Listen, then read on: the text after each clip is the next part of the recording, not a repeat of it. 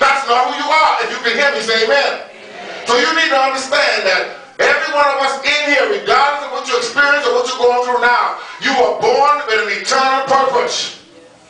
You might not be able to see it right now. You might not be connected right now. But I, in the name of Jesus, if you're on this earth and you're in church, it means that God chose you. And if he chose you, he always gives an eternal purpose to everyone he chooses. There's nobody that God birthed and choose without something that he placed in you to give back to the world. Am I in the right church? If you can hear me, say amen. Do you believe that you're special? Do you believe that in spite of who you married to, and in spite of who you're going with, and in spite of what's going on, that God chose you,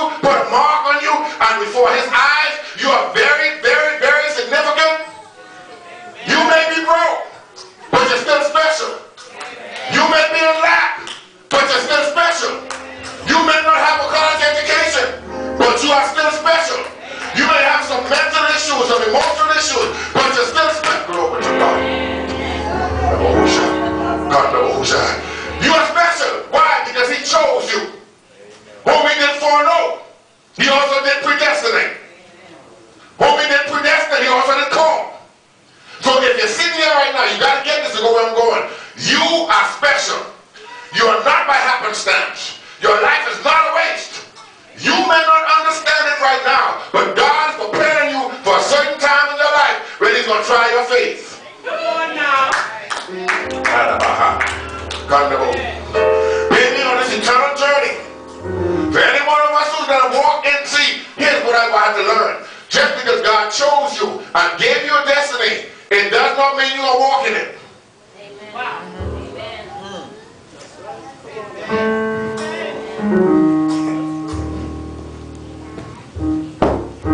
Just because God chose you and gave an eternal destiny, if you don't connect yourself to it, it is not automatic that you're going to walk in it.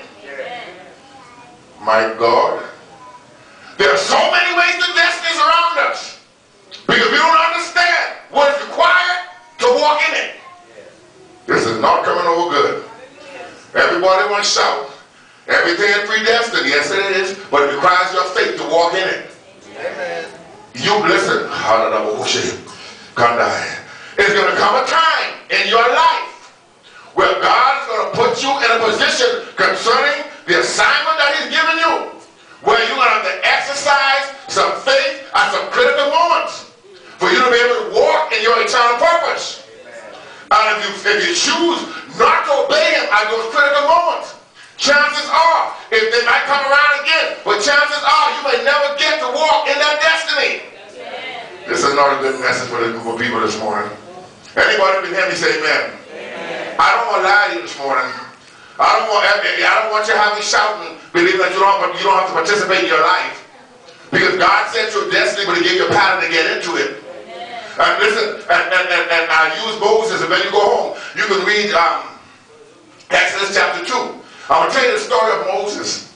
Moses had a destiny to deliver the people of Israel out of Egypt. That was his purpose for being born. Do you agree with that? He was born under the purpose of delivering the people of Egypt out of Israel. That's what God put him on earth for. That was his final destiny in life. That was his divine purpose to go back to Pharaoh to let these people go and, and watch God glorify himself through him. But that was his divine purpose. But there was a lot of stuff that happened before he got there. Preacher God will. Gentlemen, take a deep breath this morning. I want you to walk with me this morning. Because since God chose you, from the time that you were born, he had been preparing you to get to a defining place where it's going to be determined whether or not you will fulfill your destiny. This is too good. It, ah, this is the kind of message that makes you lose members because it makes you responsible for your, for your mission. It makes you responsible for obeying God. When God gives you an eternal destiny, you're going to come to the place where he's going to try your faith. It's a defining moment for your good and for him to see whether you believe him or not. And when you get to that moment, glory to God, if you're not willing to go outside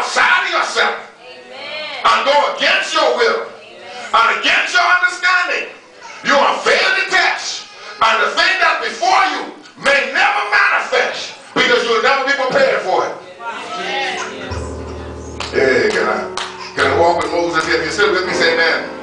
Can I, can I walk out with Moses? I want you to win. Somebody say, I'm going to win. Somebody say, I'm going to win.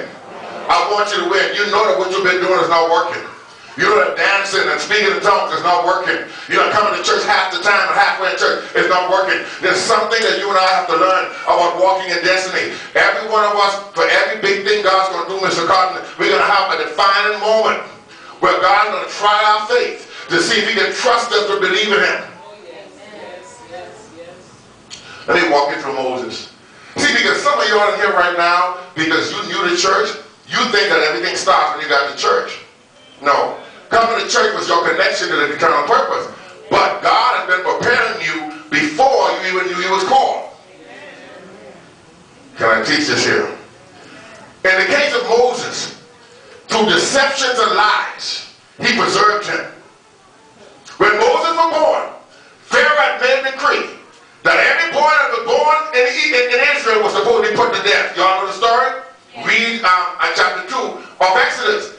But through deception, he was kept alive. Now walk with me. This is the deliverer of God's people who was ordained to do this before the foundations of the world. Now, the church folk had already rejected him because he was born on the other side of the track. Somebody say amen.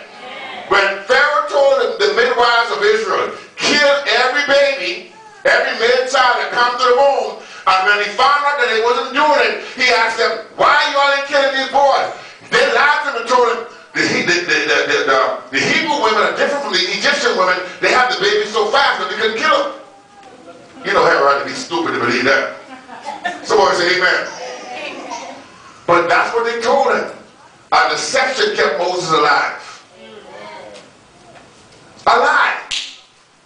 All the while, nobody had a clue that God to deliver Israel. Y'all understand with me? Nobody had a clue. But his mother said, he's, he's a nice shot. She built a little ark, a little boat, and put him in a boat, put him on the river for Pharaoh's daughter to find him. They didn't have no clue who he was or what he was going to do. People were just fulfilling, this is good, you know. People were just fulfilling an eternal purpose that God's already ordained. He was using everybody along the way to make sure that Moses got to a place that he appointed for him before the foundations of the world. That's why you got to understand. Chosen of God, everything that happens in your life and all the people that he uses, they have been ordained. They, oh, glory to God. They're not going to do it the way you want to. You're not going to understand it, but everything has already been ordained to get you to a certain place. I'm preaching good. I don't know if y'all get it, but I'm preaching really good. You have to receive this because when you're having faith for eternal destiny, you got you have to know that God's in control.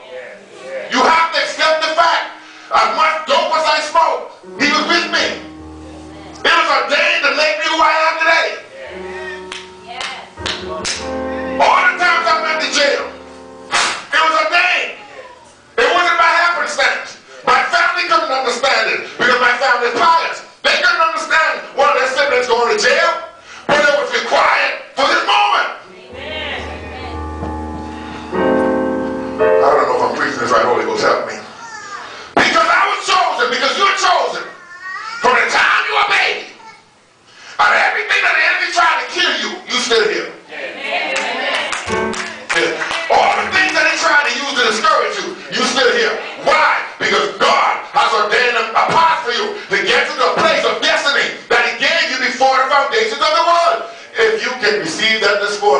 amen. Mm. I feel like I'm preaching over somebody's head here. Moses was brought up in Pharaoh's house. Watch out, watch out interested in this.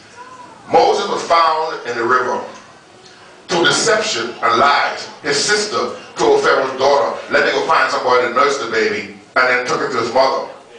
Amen. Amen. I love deception. Nobody knowing that one day this man was going to deliver the people of Israel. This same little baby who everybody lying about. And nobody said, why are you going through all that for him? The Pharaoh said, what you want? What you want with this, this, this Hebrew child? Same God. God was ordaining to get him in a place. Because he had to get him